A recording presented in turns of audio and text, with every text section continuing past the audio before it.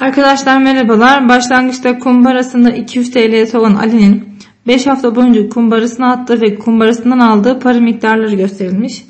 Buna göre Ali'nin 5 hafta sonra kumbarasındaki para miktarı. Şimdi baktığın zaman 80 TL atmış birinci hafta 30 TL aldığına göre 30 TL fazlası var.